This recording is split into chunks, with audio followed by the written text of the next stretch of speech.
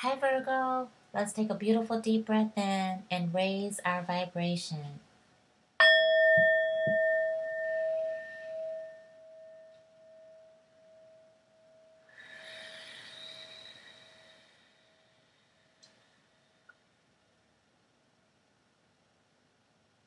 Thank you so much, Divine Source. Thank you, thank you, thank you. Thank you for allowing me to channel Virgo spiritual guidance with 100% accuracy. Thank you so very much. Thank you so very much. Thank you so very much.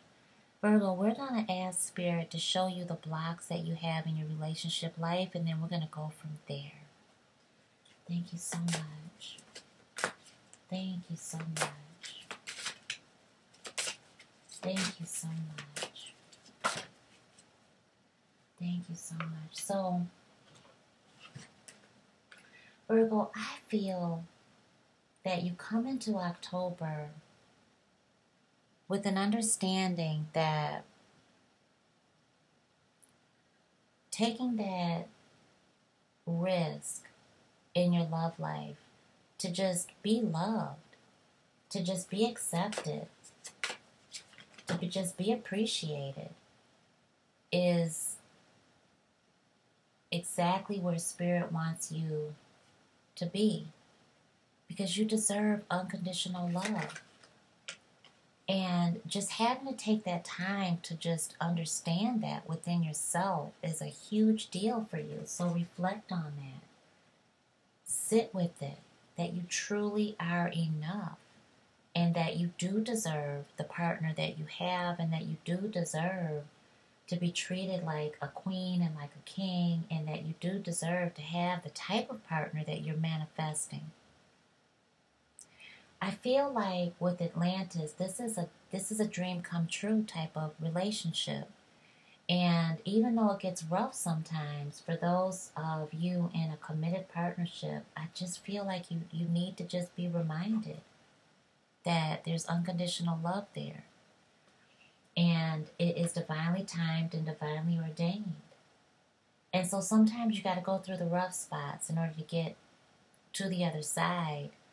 And so reflect on that unconditional love. Reflect on the the dreams that you two have.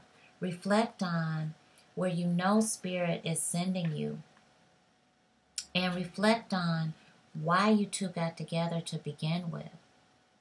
Um, you know, I think that there's a fear when you look at Atlantis, um, the block. I feel like there's this ideal, like this idyllic, idyllic um, fantasy of a relationship, and um, if you can even have this imagined type of relationship, and yes, you can.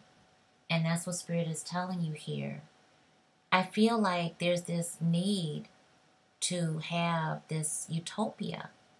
And some of you have it. And I feel like some of you are just around toxic people that can really encourage you otherwise. So be reminded, okay, that you do have unconditional love in your relationship. And that yes, you can have the type of fairy tale that you really want, but just be realistic and know that there are some challenges there, and um,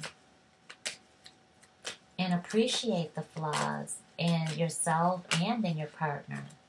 Certainly journal it, write it down, and make it real. If you are not coupled up, write it, get it on your vision board.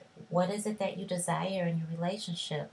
If you are, excuse me, if you are coupled up, write it down, get it on your vision board, and manifest the type of relationship that you really do desire because you can't have that.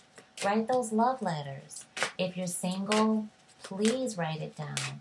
You know, if you want to be physically and spiritually united, with your partner, with your spouse. Um, that energy is here. And um, you have the ability to manifest it. Thank you, thank you, thank you. So, um, before I um, before we reveal these two um, energies, I do want to share with you the energy that I feel is here for you this month in the stars.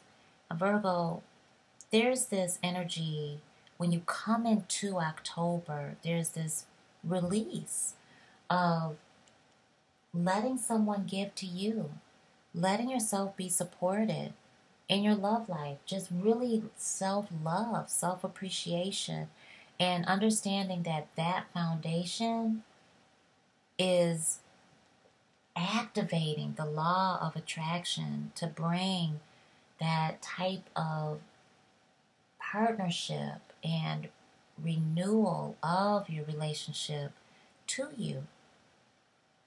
And just being open to receive it. Being vulnerable enough to say, I don't know, I don't have all the answers, I don't know what I need. But knowing that as you soften, you actually glow into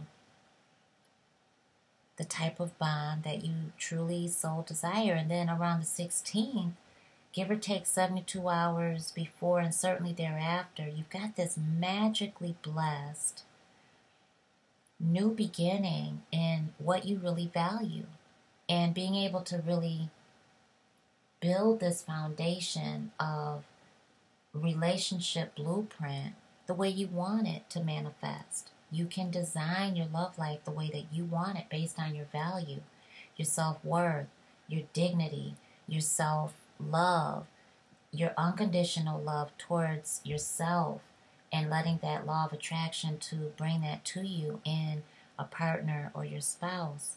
And just having that standard and being able to really write it down. What are my standards? What are my boundaries? What is healthy for me?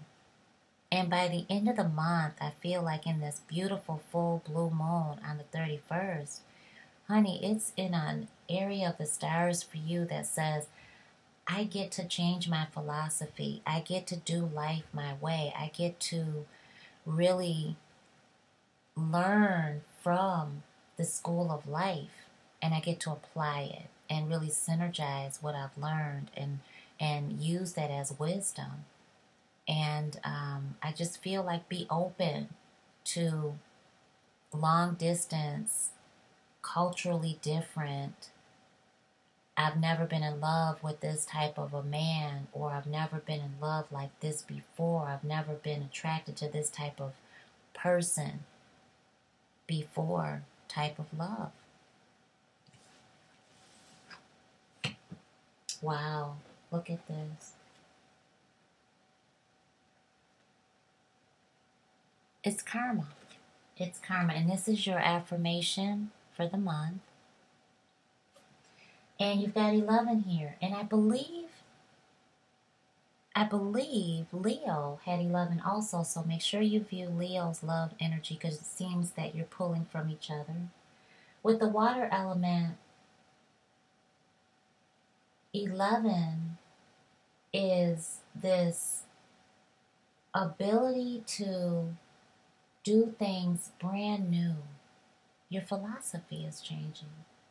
I allow my body, mind, and spirit to flow intuitively through the changes in life.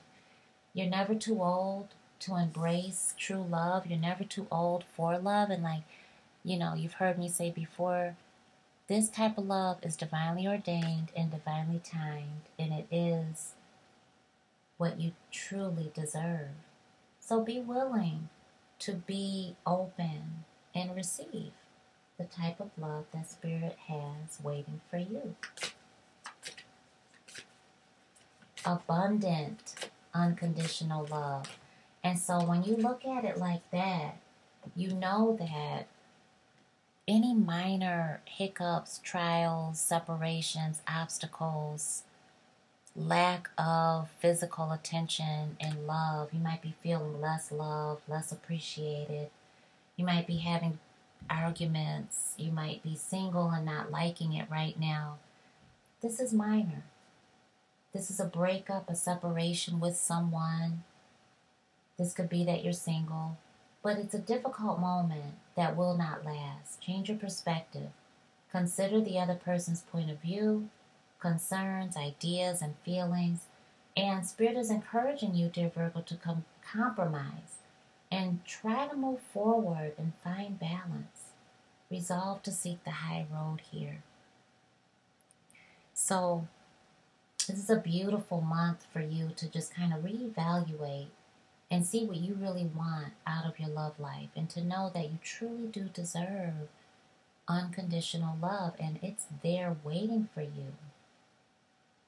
You just have to flow and allow yourself to not know all the answers and to show up and be vulnerable to your truth and to what Spirit shows you. Well, if I can help you, I'm certainly here for you. Click the links down below, and I look forward to hearing from you and reading for you. Take great care.